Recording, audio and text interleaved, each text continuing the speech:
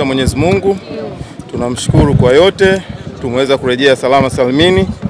Kambi ilikuwa nzuri, kambi yenye mafanikio e, ingawa muda ulikuwa mchache, lakini nadhani mwalimu yale yote ambayo aliyategemea ameweza kuyapata kwa kiasi kikubwa, na bado tuna takriban wiki moja mbili kabla ya ligi kuanza. Tunaamini mwalimu atakuwa amekamilisha yale ambayo ameyalenga.